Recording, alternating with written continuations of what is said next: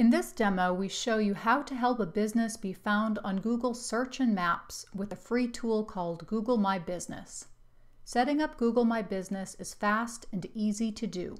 Let's walk you through the process step by step. Start at www.gybo.com/business.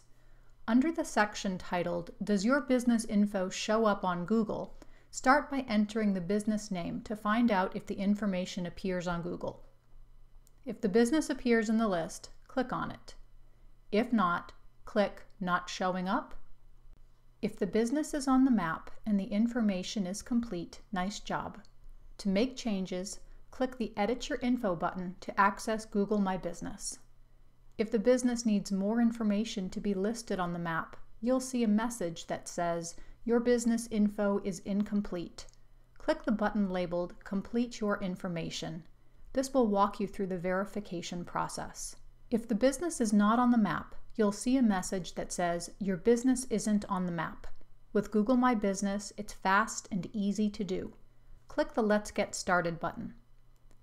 If you're not already signed into the business's Google account, you will be asked to do that be sure you're signed into the correct Google account associated with this business. If the business does not yet have a Google account, you can create one for free. I am already signed in, so the next thing I see is a map, possibly with a list of businesses. If you see the business in the list, click on it to proceed to the next step. If you do not see the business in the list, click the last option labeled Add Your Business. Enter the business information as it should appear on Google Search and Maps. Be sure to use correct capitalization style. Please note that you cannot use P.O. boxes. You are also asked to select a category for the business. You must use one of the existing categories, not create your own. Start by typing a few letters for a general category that describes the business and see if it appears. You might not find the perfect category, but that's okay. You might need to try a few options before you find one that fits this business. You can use the description in a later step to provide more details. If the business has a service area, check the box labeled I deliver goods and services to my customers at their location. Now you can specify the service area by city name or zip code or radius. The business address will not be displayed with this listing on Google. If the business has a service area and wants to display an address too, click the box labeled I also serve customers at my business address. Click Continue. Now, check the box to confirm that you are the business owner or authorized to manage this business listing and agree to Google's terms of service. Click Continue.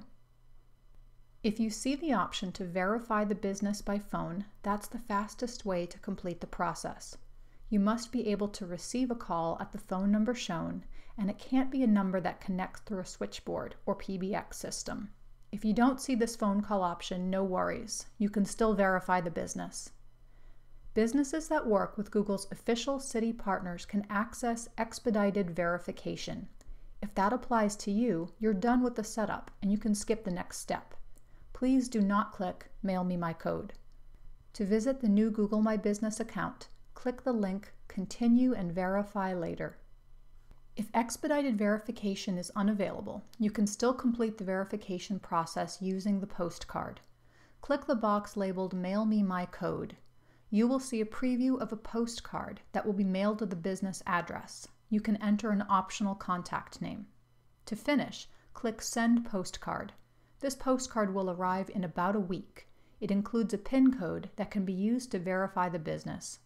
The code is valid for 30 days. The information the business entered will not appear on Google until this verification process is complete. Once the postcard arrives in the mail, head back to Google My Business by visiting www.google.com/mybusiness and signing in. This is where you will sign into the account from now on. Click the button labeled Enter Code.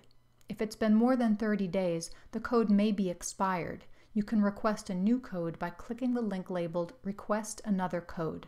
Now, enter the PIN code and click Submit. Congratulations, this business is now verified on Google My Business and the information can appear on Google Search and Maps. You can learn more by visiting www.google.com/mybusiness.